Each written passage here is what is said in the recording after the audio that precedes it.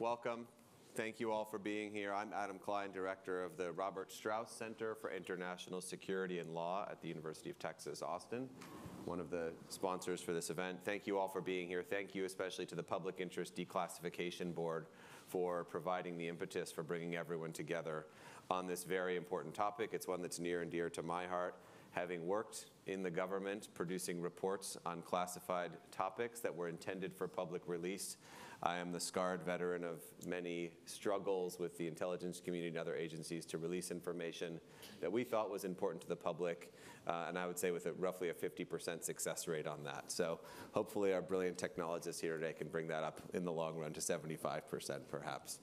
Uh, this is a challenge that um, you're all familiar with at this point, but the real issue that we haven't discussed yet today is scale. There's so much information there are so few people to throw at the problem, how do we solve that? And of course, potentially the solution is technology. Technology, unfortunately, is also part of the problem, and Professor Greitens' comments about email, I think, teed that up very nicely for us. We have a great panel here today to discuss this, a mixture, appropriately, I think, of technology experts and experts in how the bureaucracy and the institutions of government would use that technology. Because, of course, a tool without the ability to use it in the institutional context is not very useful. And using technology in the intelligence community, in the classified realm, and in the government generally is very differently than using it in, say, a 10-person startup. There are just institutional challenges that we will hear a lot more about. I will introduce our panelists as we go, and each of them will, will give a brief opening statement, and then we'll proceed with the usual questions. Uh, first, I want to start with Ezra Cohen, uh, whom many of you may know from yesterday as a member and previously the chair of the Public Interest Declassification Board. He was appointed uh, in January 2021 by President Trump. He served as chair for two years and remains a member of the board. Previous to that, he served in senior leadership positions at the Department of Defense and Intelligence Community, most recently as the acting Undersecretary of Defense for Intelligence and Security and Director for Defense Intelligence at ODNI the Office of the Director of National Intelligence. He's held many other positions in the, in the Department of Defense, too numerous to name here. He began his career in government at the Defense Intelligence Agency, where he held several roles, including as uh, Deputy Defense Intelligence Officer for South Asia.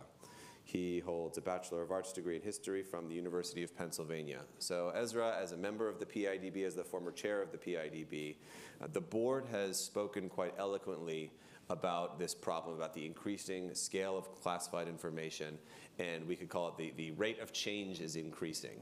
Classified information is piling up ever faster than before. Uh, and you've also spoken about the role that technology can play in this solution uh, as a solution, but perhaps you can start with the problem. Why is technology creating such a mountain of classified information?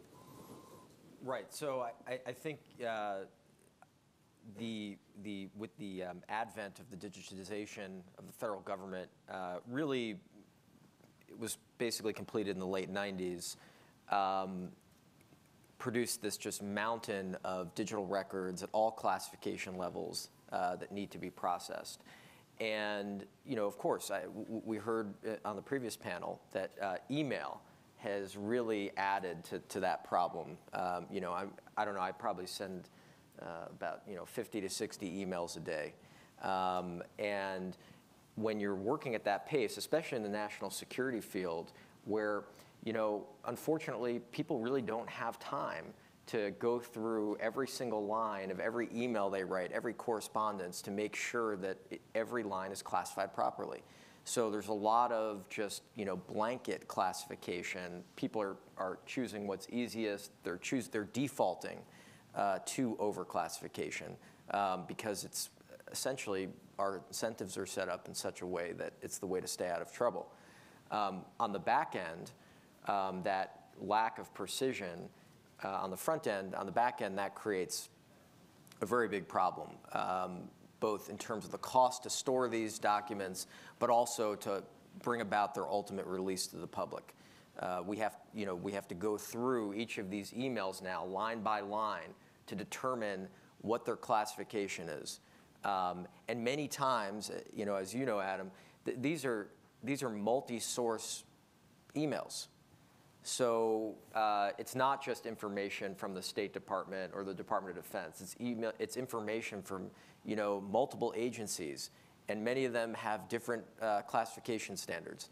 So it becomes extremely complicated on the back end, and really to, at great cost to, to the American public. Thank you. Maybe just to set the level here for people who aren't familiar with how this works. If you work in the intelligence community or in a government position where you're handling classified information, you have to carry forward the classification of the materials you're relying on. And a document takes on the classification level of the highest level of information that's incorporated into it. So if there's one line of top secret information, the entire document is therefore classified as top secret. You're also supposed to do what's called portion marking, and this is what Ezra was alluding to with going through the paragraph. So you're supposed to mark each paragraph or separate section with the highest level of classification in that section. So you can see, first of all, how this can be very time consuming. Second of all, how a way to save time is simply to mark the entire document at the highest level of classification that could possibly be in there. You're safe, you're covered, and now another top secret document has been added to the stack. Okay, so we've got a pretty daunting problem here billions of emails, perhaps trillions of emails at some point. Ivan, you're a technical expert. You're going to save us from this. and I will now introduce Ivan and tell you why he's qualified to save us. He's the founder and CEO of Datasaur.ai, Datasaur as in dinosaur.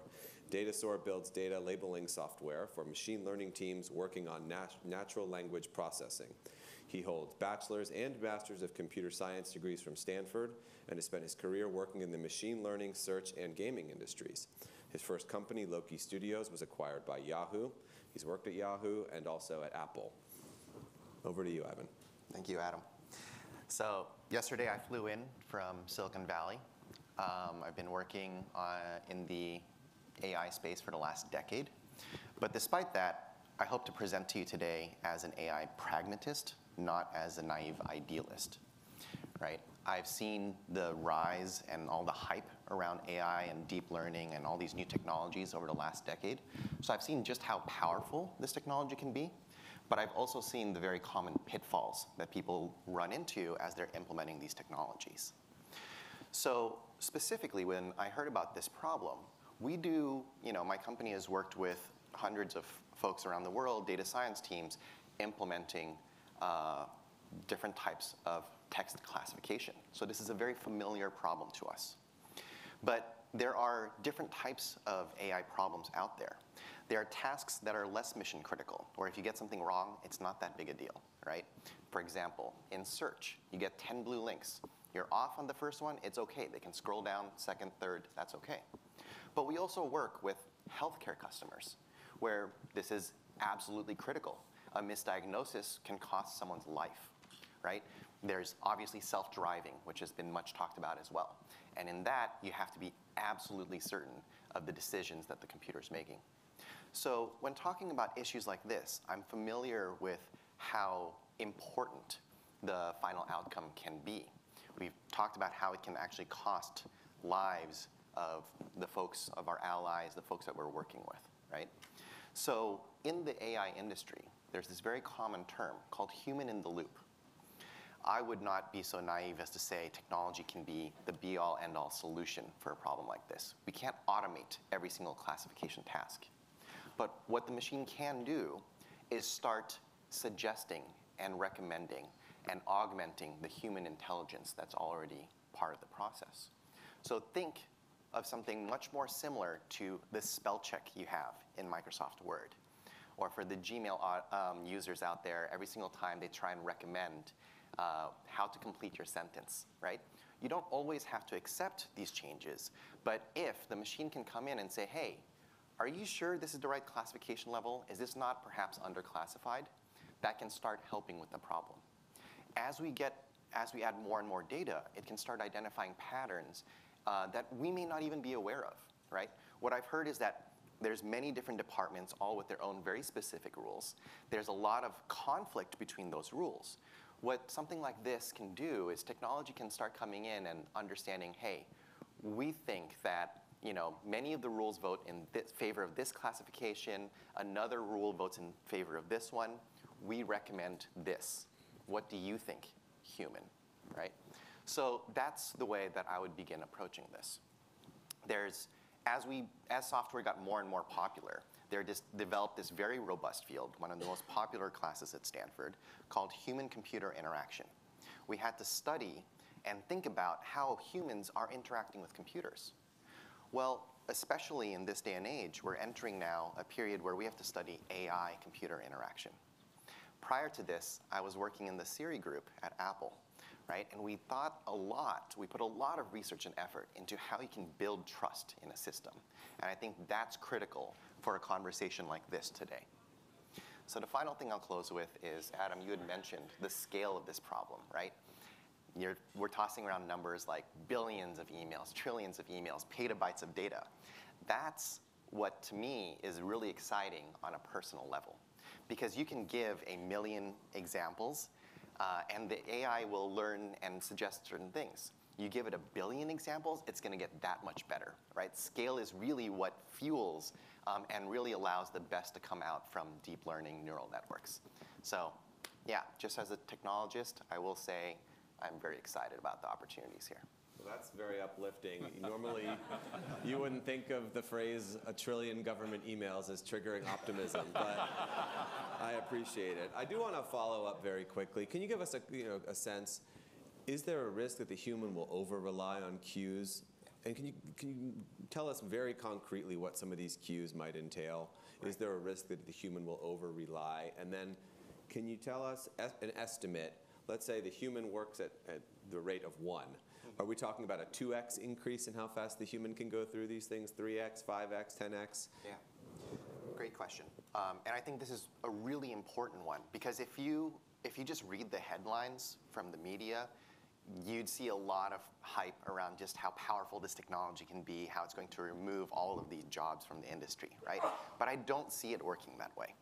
I think that uh, we think about this deeply at our, at our company. We can automate labeling, we can make these suggestions, but we have to do so very carefully, specifically to avoid that problem, right? We don't want the Tesla problem where people are hands off, taking naps in the car, and just letting the car drive itself. We need to make sure that whatever suggestions we make, first of all, there are multiple phase rollouts. We'll start with you know, the red squiggly for spell check. Like, is this really the classification you want? We get feedback from that system. How many times do people use our red squiggly and say, yeah, you're right, that was incorrect, right? We can start learning and getting better at that problem. The next phase would be where we can start suggesting.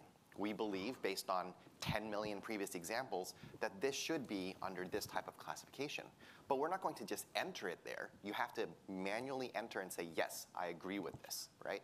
So you can put in these uh, specific uh, software barriers, artificial barriers at the front to make sure that the human's really buying into the suggestion that's being made. This is not going to be like the DocuSign where you just click, click, click, click, click, send, don't know what you just signed. That's correct. Okay, that's good. Uh, our other technology expert here is uh, Jared Abrams, who is a research associate at the University of Texas at Austin's Applied Research Labs, which research hard scientific problems for the Department of Defense and intelligence community. And I see uh, Carl Fisher and Marsha, and I know we have some other ARL scientists here, and it is really one of the underappreciated crown jewels of the university system here.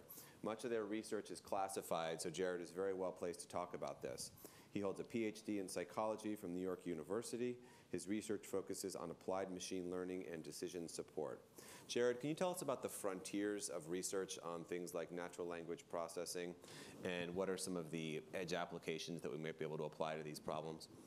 Yeah, so trying to cue in on some of the things that Ivan said, he, he mentioned this idea of human in the loop, of, of decision support, of having a person interact with an automated system in order to make better classification decisions. And again, you, Adam, expressed concern about, again, the Tesla problem, that just sort of hands off the wheels, letting the system roll.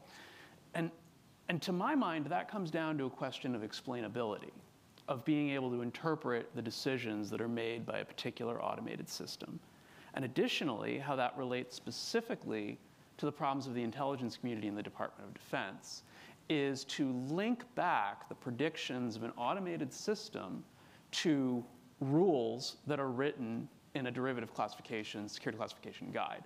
Uh, just to give a brief explanation of what that means is that most individuals doing classification or declassification on a day-to-day basis in the Department of Defense or the intelligence community, they don't get to decide whether or not something is a risk to national security. They get to, so- to decide whether a set of rules that they are given by an original classification authority applies. And so with our own work in developing a decision support tool for supporting initial classification and decision making, we actually encoded a security classification guide and linked back to those rules. That particular system was a bit of an, um, a traditional artificial intelligence application using an expert system. It involves a lot of manual encodings. It allows, requires a lot of subject matter expertise. The sorts of models we see these days involve much more, um, I don't want to say unsupervised learning because that's not actually the correct term here, but uh, learning from the data that is available in the wild rather than having an expert specifically encode things about that. Now, the problem we run into with these models is not knowing why they make the particular decisions that they're making. So, if we can ultimately marry those two approaches, the approach of having your automated system that's learned on all of the data that we have, but then concrete that, concretely link that back to rules in our security classification guides, then we have a powerful and explainable system that ultimately provides some accountability and hopefully then gets at the human in the loop issues that we're concerned with of you know we don't want people to we want people to feel comfortable overriding the system. We also want people to feel comfortable letting the system make decisions. And that's a difficult balance to strike. So really to my mind that's the frontier in research in this area. Just a follow-up question there. We all hear, those of us who are not technical experts but are interested in this topic, hear about machine learning, and you need a lot of data, and you sort of set your model loose on the data, and it gradually improves over time. That's a very crude caricature, I know, but doing my best here. In this case, the data sets are classified, and we all know that they don't just let you walk into Fort Meade and play around with the data. How do you train a system on classified data sets? The data may be stored in different places. They don't, probably don't want you combining it. Does the model then take on the classification of the data that it was trained on? The short answer is yes, it does take on the classification level of the data that it was trained on. This is especially because um, in technically we refer to this as a model can leak data, not the same as leaking as we see in other contexts, but the model can basically say things that it's learned, and that's problematic. This is, these are language models specifically. Um, the issue that we ran into as a group was that precisely that issue. You have a large tranche of data, so we, we had millions of pages of data to go through and train on. But what you have as a result is A, a very, very sensitive combination of information at a particular location, and B, a very, very sensitive aggregation of information within a specific model. And those are things that, from a security perspective, we really don't want. We want to compartment things. We want to break things apart. We want to make sure that no one person has the keys to the castle, so to speak. And so, how you do that in and our attempt to solve that was by creating systems by which you have a general part of the solution that you can roll out across multiple locations. So let's take the example of natural language processing. You fine tune, sorry, natural language processing, named entity recognition. So the ability to identify named people, organizations, locations, et cetera, in text, automatically do that at scale and make it all searchable. Well, you can start off with your commercial off the source technologies, and you can see what sort of baseline you get in terms of your accuracy. And then these models can be fine tuned for specific use cases. Uh, and that fine tuning process can be done on sensitive data at the local level. And given the right tools, practitioners at the like, local level can do that fine tuning. But it is still a complex process. And actually, tools such as the ones that Ivan's company makes are the kinds of tools that you would need for that.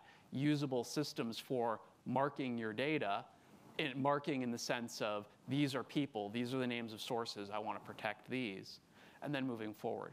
Additionally, we did have a lot of success with the creation of expert systems that do key into specific databases. So sometimes you do want to just do explicit name checks. Are these people in a list of sources? Are these people in a list of, you know, insert role here? For that, traditional access controls and traditional database setups throughout the IC are already amenable to that sort of solution. Um, so really, it's a matter of trying to figure out what we can automate with general purpose solutions, and then also figuring out what does require a specific solution, and then having the appropriate risk management framework for dealing with those sorts of, those sorts of situations. Thank you, Jared. So our, our last panelist, but certainly not least, is Alex Joel, who's a scholar in residence at the Washington College of Law at American University in Washington, D.C. He conducts research and does other things related to the law, national security, technology, and privacy. Previously, he was a senior officer with the Office of the Director of National Intelligence, where until June 2019, he was chief of the Office of Civil Liberties, Privacy, and Transparency. Uh, just in lieu of reciting the rest of his official bio, I will just say that Alex is someone I've known uh, going back a fair number of years now and is truly one of the most impressive leaders doing the, who has done this work inside the intelligence community to drive transparency, drive declassification, and has wrestled with the toughest problems and how to get this information out into the public realm, in particular after the Snowden disclosures, which you may have heard of, which caused a spike in demand for transparency around some of the most sensitive technical and programmatic capabilities that the US government has. And if you compare what was available out there before Alex entered office and after he left in terms of declassified legal opinions, statistical transparency, and so forth, it's a world of difference. It's like going from you know, the cave paintings into 3D holograms for those of us who study this topic. So it's really great to have Alex here, especially because hopefully you will tell us how some of these ideas and hopes that we have for letting technology in and letting it make decisions perhaps will come into conflict with some of the realities of declassifying things about you know, NSA technical capabilities, CIA human source operations, and so forth. But before I just let you go free, I'm going to make you answer a couple questions okay. for us based on things that have come up today. Is it true that something old should probably be declassified? is it suspect that old things remain classified? And second, is it suspect that something public or known to an adversary would still be classified? And if the answer to those questions, as I think it is, is no, can you tell us why, please? And then you can say whatever you want after well, that. Well, I, I, do think on the first question that the older something is, the less likely uh, you will find a compelling argument that it needs to remain classified. But there are reasons why historical records or you know records going back 25 years, 30 years uh, are classified. One of the things that you know we, we encounter is that either either a source of information may still be alive, or that source's family may still be alive. And they, depending on where that individual is located, this could be highly problematic. Or it could relate to a series of policy measures in a country that still have life today that were, you know, uh, that, that the US had some role in that was classified back at the time. And so you will face, and, and I know that the people in this room here know this better than I do, but there are reasons why historical records, or, or you know, even records going back a few uh, years that are of current interest, uh, uh, need to remain classified to protect secrets. Um, we spend, uh, when I was in the intelligence community, a huge amount of time trying to find out what adversaries knew about us and they spent a huge amount of time trying to find out things that we knew. So um, I have no question that if you look at some historical documents today, you can find out, oh, that secret was actually known by the adversary, but that sometimes and often is not known to the intelligence agencies at, at, the moment. There's a lot of time being spent trying to keep that information from the adversary because we don't know what the adversary knows, and especially if it's a hard target, can be very difficult to find that information out. So um, I will say that if you want to make progress, you know, for those of us who, what, what I learned, I'll just keep it to my own experience in trying to, uh, you know, enhance transparency from inside the intelligence community is uh, rule number one, or, or the, the starting point is we must accept the importance of keeping secrets in the national security space. You will not be a credible voice on transparency if you don't accept that a fundamental premise. A fully, even though I was a champion of transparency, I always said a fully transparent intelligence service is a fully ineffective one. You have to be able to keep secrets. Now, having said that, we're in a democracy. You also have to have public transparency. And so it's that, it's that tension that creates all the problem. And yes, right now we, we have erred on the side of overclassification. There's no question. I mean, everybody inside the intelligence community acknowledges that there's, you know, that marking is going on documents that don't you know, need to have that marking. And so that's, that's absolutely uh, the case, but, but it, it comes from a place of trying to protect those uh, secrets that, if revealed, could in fact harm national security. As somebody uh, has said in this conference before, when you're talking about national security professionals, you have people whose lives are dedicated to protecting national security, right? That's what, that's what they've committed their, their, uh, their, their work toward. And so they will, of course, have a very strong concern about being responsible themselves for something that might harm national security.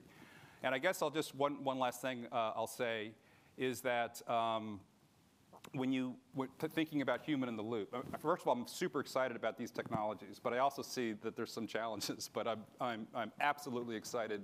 And I love the fact that the more electronic records there, there are, the greater uh, uh, fidelity there will be with the resulting data. So I didn't realize that we were creating training data for these AI algorithms, but I'm glad that, that that's what's actually happening. Um, the, the, idea of a human in the loop is, of course, essential, um, and it brings to mind, you know, I was, I was asking myself the question, you know, like, what, what harms national security? What information, if released, could harm national security, which is the basic test? And then I thought, well, that the, the asking that question is like asking a lawyer, what is legal and Ill illegal here, right? Is this legal? And the lawyer will tell you, well, it depends. And the, um, that's also what a national, someone worried about keeping national security secrets will say, well, it depends. You know, what does the adversary already know? What is the, you know, what is the context around which this has been, this is being released? What information has previously been released? You know, are we talking about a specific source a specific method? How that, or is that method still in use? Who put this original classification marking on, it, on here?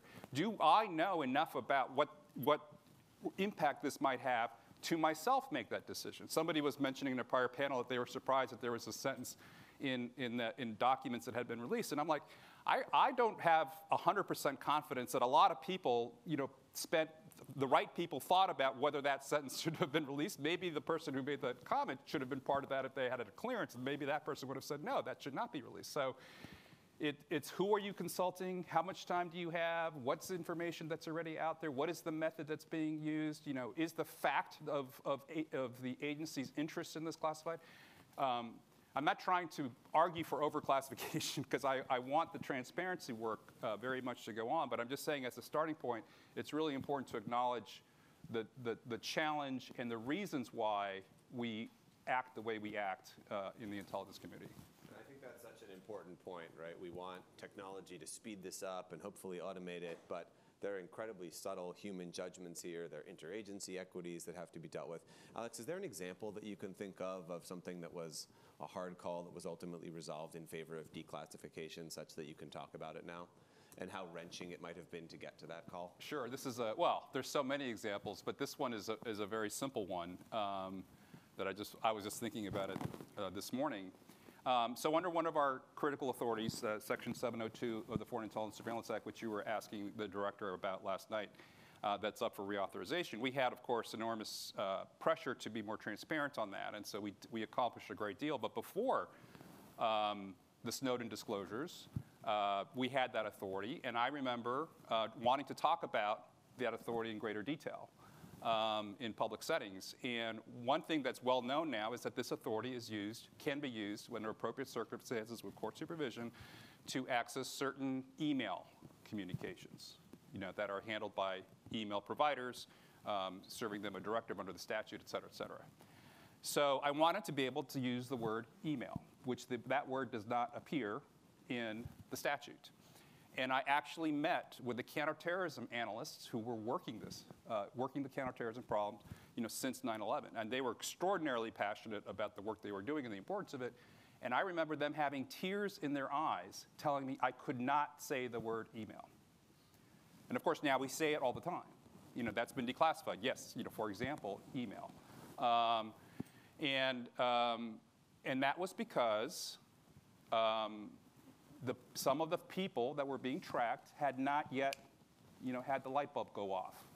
So even, even disclosing something as seemingly innocuous as that was uh, a, major, a major challenge. We're beyond that now which is an interesting thing with, with, um, with these machine learning and the, and the application of rules, et cetera, that, you that you guys have been talking about. Is I, I think that it, it's super instructive to go back and think about what was classified and then what has been declassified, and if you do a comparison of those, because I still think that there are plenty of people in the intelligence agencies who and I, even here talking about this, and I'm out now, I get, you know, I, I, my heart rate goes up hearing about some of these topics. But um, the, um, you know, you, you, um, some people are still operating under traditional assumptions about what is, you know, needed to protect sources and methods, when in fact we've already disclosed uh, some of that stuff. And I should have, I should have noted also that you served as an attorney in the CIA's Office of General Counsel, which may explain some of that phys- physiological response. Uh, will we, this question is for every panelist, and I'd like your, your quick gut reaction to it. Will we ever allow AI or a machine of any kind to declassify something without human review? No time, no time limit.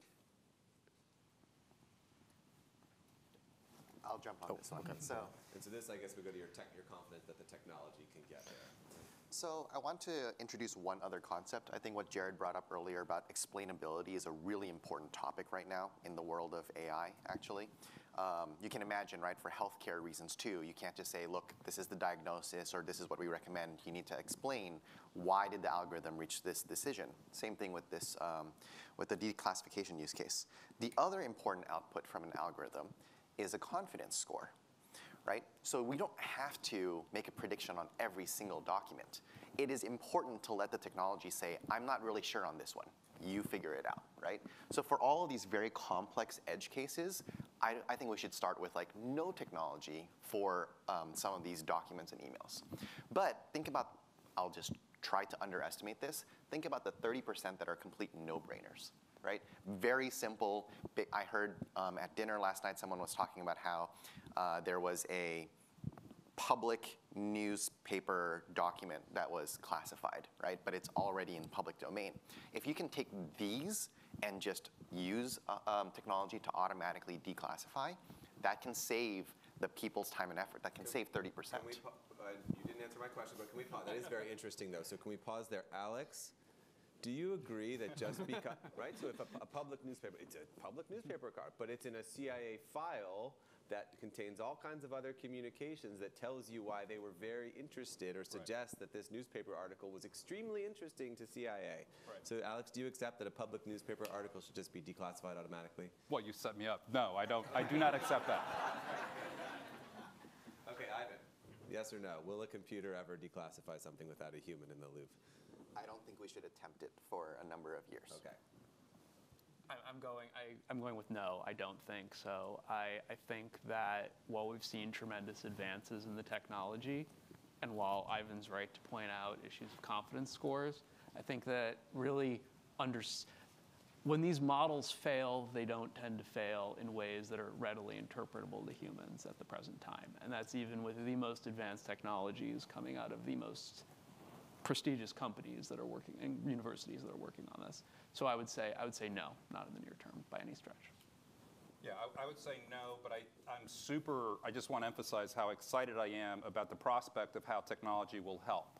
I mean, and will help the human in the loop reach more accurate and faster decisions. And I think that's super important. I- I'd say, well, you said ever, so that, that's a long time. um, uh, I, I, would say yes. I think that it is possible, and it, it may not be though from you know top secret SCI to unclassified, right? Uh, the the de, the automatic declassification might be from top secret to secret. Uh, you know, a decision to push certain information uh, to our allies. And by the way, that information doesn't mean an email or a report. It could be, you know, a signal that we've received uh, in some way that's needed to have, you know, battlefield uh, situational awareness, right? And, and those types of things probably will be able to be automatically uh, declassified or downgraded. Um, I, I- think that a lot of this, though, is cultural. So, um, you know, uh, you know, one example that the board looked at was uh, some of the cultural changes that were made at NGA uh, about um, Can you just explain to everyone what NGA is, who may not know? the National Geospatial Intelligence Agency, and, and we referenced this yesterday. Um, many of these agencies have a culture of every office has its own security classification guide, every office within the agency. And at NGA, they decided to change the culture. They were going to create one, they were going to consolidate all of this and have one security classification guide. And I think there were a lot of naysayers at first until they saw it worked out. And now they see it's a great idea. So I think a lot of this is really just changing the culture. It's not going to happen overnight, but if you give me ever, I'll, I'll say yes. so. Staying with Ezra here, um, as we mentioned in the introduction, this technology has to be deployed within a government that we have, that has institutions that have their own particularities, let's just say. Uh, Ezra, how do you think the government needs to change, if indeed it does, to actually use this technology effectively for this purpose? Yeah, so I, I think, look, step one is setting up uh, an organization where it's going to be successful. Um, and because of the scale of the problem, uh, and also the fact that there's very limited funding for this issue, I think we need to create economies of scale. So, and you also mentioned the equity process. I think the equity, equity, when people say that in the intelligence community, it's code for conflict between agencies. So, um, at least in my opinion. So um, I think that the, the step one is there really needs to be a program office that exists outside of the intelligence community uh, maybe at the Office of Management and Budget. And the reason for that is the IC isn't the only agency generating classified material. DoD is never going to accept just culturally a system that comes from within the IC. CIA is not going to accept a system that came from within CIA. Um, and you could find many other dynamics like that. So I think we need a program office that will essentially research, acquire, and then mandate across the whole US government uh, a common uh, AI system, um, and it needs to be funded. And I see we have some people here from Congress. Uh, most important thing is it needs to be funded. So, talking about this problem, we've got a mountain. We want to think of ways to use technology to make the mountain smaller, but I think we also have to note that we are actually making the mountain bigger in some other ways. One thing that I haven't heard anyone mention yet is something called controlled unclassified information which is this idea that now unclassified information has to be marked in the same crazy Byzantine way that classified information does. And in fact, there's a you can Google it. There's a controlled unclassified information guide with 50 different symbols. It's like going into an Egyptian hieroglyphics situation. And so now we've got new reasons that information can potentially be withheld from the public, even if it does not threaten the national security of the United States. Uh, and so that's, we do not want to be making the mountain bigger. We are actually making the mountain bigger, even where there's no national security threat. So I do want to put that out there. But getting back to our topic here, is it possible that we're approaching the problem wrong? We are thinking about this mountain, we're thinking about this as a volume challenge, but in fact, not all information is equally useful for the purposes that we care about informing history, democratic accountability, democratic decision making.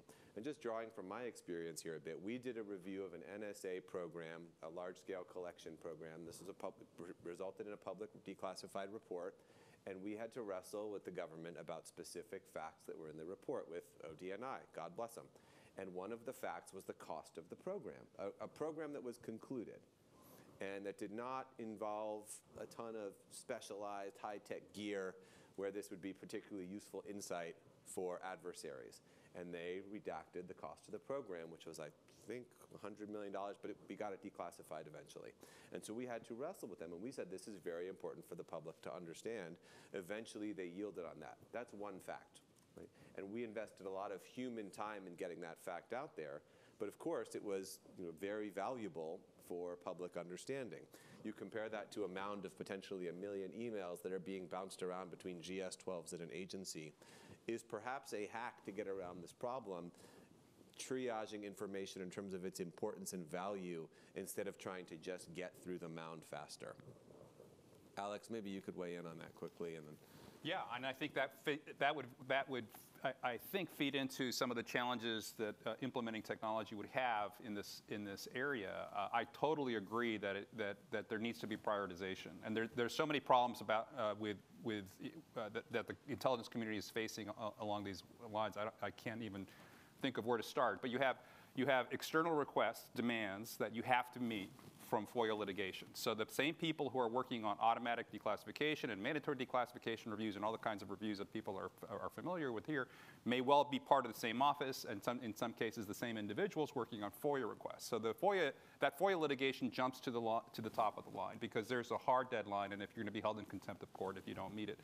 Uh, at the same time, you have all of these other things happening. You have the executive orders, clocks ticking away. You have the mandatory declassification review that I mentioned. You have people like me coming in and saying, oh, you know, the, the statute's up for reauthorization. We have to push through, you know, declassifying all these things. You have something that happens outside, in the outside world, like Russia invading Ukraine, and then you're, you're again pulling on some people. And, the- and these things also pull on the uh, actual experts working the problem because the, the, the classification folks aren't going to know what, what the current impact is of, of something without consulting with the experts. So now you're pulling these people away from their mission um, and having them sit in a conference room looking line by line over a document because the chairman of the Privacy and Civil Liberties Oversight Board wants to declassify this sentence, you know, so it, be, it there, that's a good reason. that's a very good, that's a positive reason. So there's a, all kinds of, um, uh, of, challenges. I do think that, that prioritizing by topic and by category, like you said, the emails aren't necessarily that important, nor will they be carefully marked or thoughtfully marked.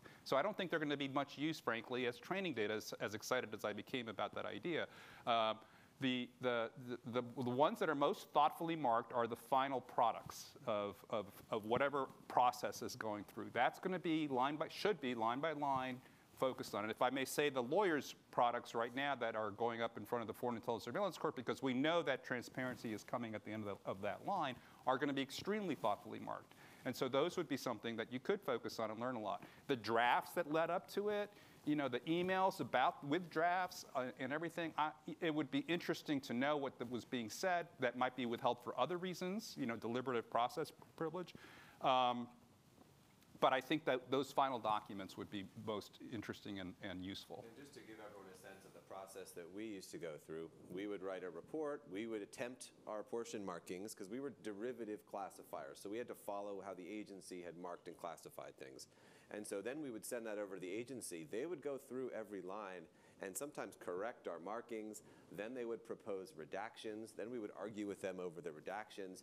After the comma, can you please declassify that piece at least? So this was down to the level of individual words, even punctuation sometimes, from our perspective to try to get as much out there as possible. But this is how fine-grained these judgments can be at some point. So one last question for our tech experts, and then uh, I want audience members to get ready with your questions. Is there a piece of consumer technology that's out there that you think best illustrates the potential for AI in this space? And you've developed some, Ivan, so you can say um, Datasaur, but something that the average person is using that we would all be familiar with. Uh, sure. So uh, I won't go with Datasaur. Um, I'll go with something that is very much in the spotlight right now, ChatGPT, right? Um, for those of you who haven't played with it yet, I encourage you to do so before OpenAI starts charging for it. Um, it's a really interesting technology. And for me, again, from a personal technologist perspective, super excited to see what, uh, what level of, uh, what the evolution of this technology looks like. I want to tie this back in actually to Alex's previous response because breaking it down and saying we want to focus on this topic first actually helps the technology. We talked about how there's already this training data. Taking 60s era documents and using that as training data is not going to help very much with the classification, categorization of emails from today, right? But if we can say, look, we think it's for the public interest to focus on declassifying everything about, let's say, the Vietnam War, uh, then we can train a model specifically tailored towards that and do a better job with that. ChatGPT right now is this uh, universal you know, solution for everything. And what people are very quickly realizing is it's not great for healthcare. You need to train something specifically for healthcare. It's not great for you know, fintech, uh, financial technologies. You have to train something specifically in that domain. So going domain by domain will actually be very useful as we approach the problem. Jared? So this is going to be a kind of mundane answer, but I think that uh, search and document similarity. So historically, we have interacted with search engines such as Google, and there's you know folks in the IC, folks in the DoD are like, why can't we have Google for our own documents? Why can't we find things better? And the answer is is because Google had a bunch of data. This was not machine learning at first, but they had a bunch of data that they could use to rank pages and make decisions about what to show people in response to a search. I feel like things like semantic search using some of the modern transformer models. So semantic search, finding things that are similar in meaning rather than simple keyword matches. Though those technologies, I believe, have improved mark, in, a, in a fairly dramatic way over the past several years, and that that allows us to start rolling out those search capabilities into um, sensitive environments. And where that's useful is when you are a review officer, when you are trying to declassify documents, the first step is even finding things in what you have that are responsive to a request, and then finding other similar material that has already been reviewed and trying to maintain consistency with those reviewed decisions. If something has already been released, then you can release this. If something has not been released, then you want to figure out why and make your decisions appropriately. So I think that sort of democratizing search capability and um, the ability to find similar and duplicate documents is really probably a major, major step forward. Very interesting. Could I, could I just jump in and follow up on that? Because I, one of the things that I'm, a couple, a range of reasons I'm very excited about this whole topic, but one of them is, and, and I'm not the technology expert, so you guys would know, is what I imagine would have to take place in order to train and develop. Like you, you, I would imagine you would want to have good, clean electronic data to work from. I would imagine you would need for paper documents, scan and, and reliable OCR. I'd imagine there'd be some indexing going on, some labeling going on, um, common formatting. Those are things that have to be done anyway, right? And to have the excitement around con- Congress funding a major AI effort to, to deal with D-class, and as, in order to do that, you need to do all these things to improve electronic record keeping, which would have benefits regardless of whether the AI works or not. I'm very excited about because I think that is necessary. It's going to happen. Somebody asked last night a very good question, which was, or yesterday afternoon, you know, do we have a record of all classified information? And you know, no. The answer was no. Not in the sense of printing out. I mean, some of things are numbered, and you'll know. Oh, I have to get copy 17 back. Who's got copy 17?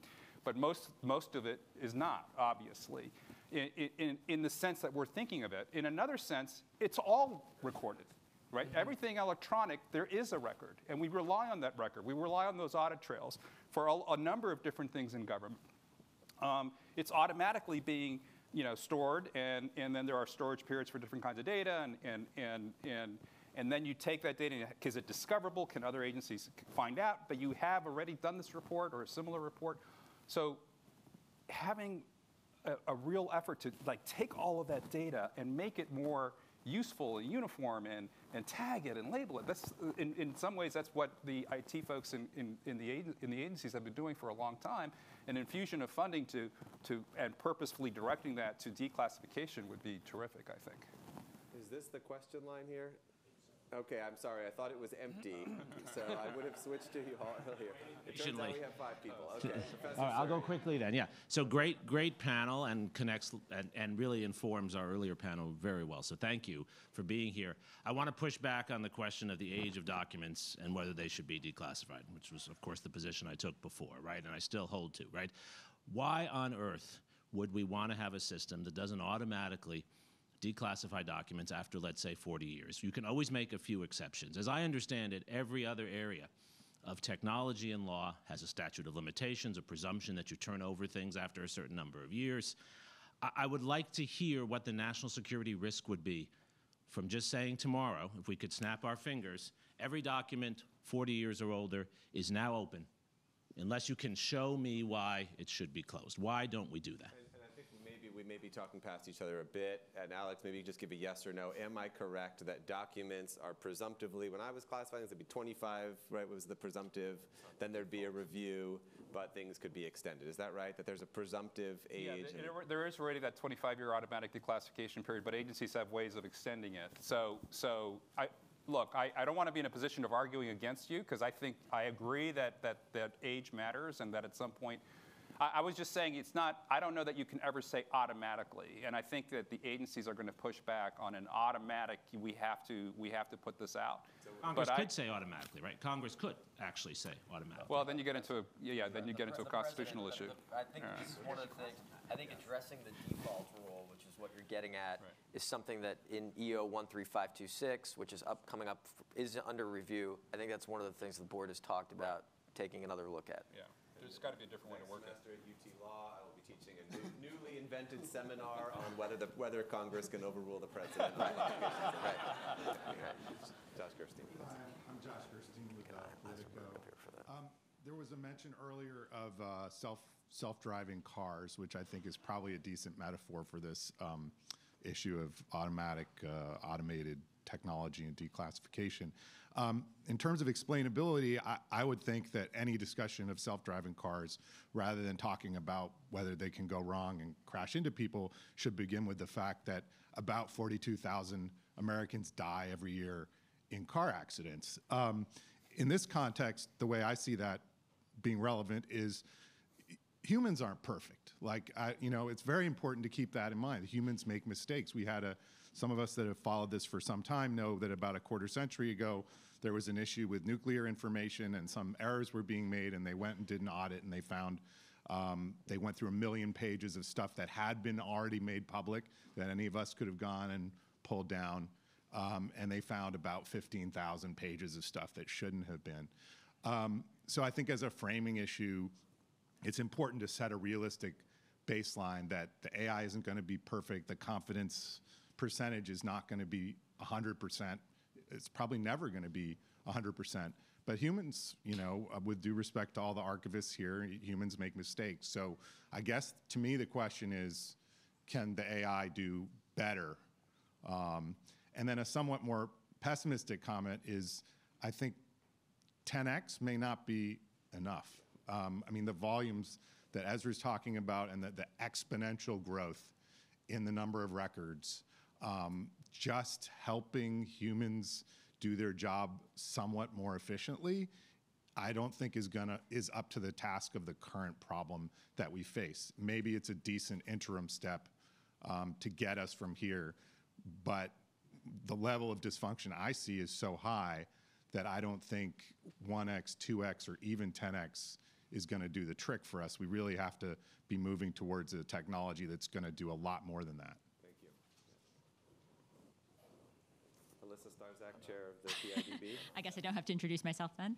Um, so I actually want to follow up on Alex's point because I, I was that was exactly where I was going to go. I was standing in line for the question to ask, ask exactly that point. Um, so one of the things that we talk a lot about, uh, we've been talking obviously about the de- declassification side, but there's an access control side as, as well, um, and there's a technology component to that.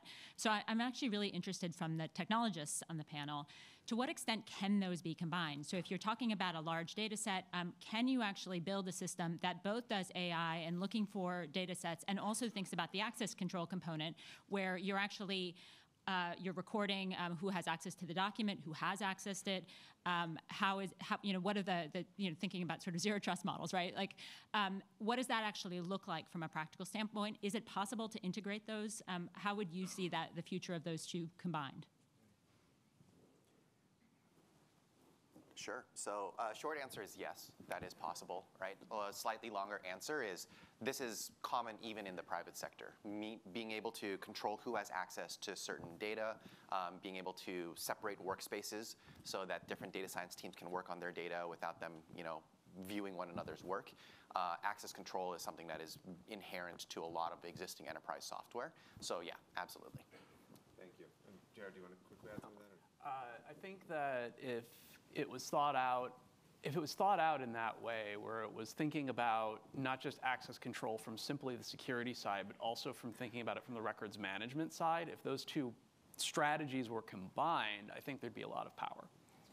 Thank you. Can we, uh, maybe we'll take two at a time and cut the line off behind Kylie? And can you please keep your question to under 50 words that ends in a question mark so we can get, let everyone have their say? Thank you. Uh, I'm going to try. Uh, so, like Joe Biden said, don't uh, compare me to God, compare me to the other guy. Uh, so, do we know what the base rate is, the human error rate in review and release of records? If one person might know, it might be Jared. because I think at Applied Research Lab, uh, ARL, you have looked at whether officials agree with one another when they decide whether to redact or not. And so, what is the error rate, if you could tell us that? The other question is. Um, Can we just do one? Is that okay?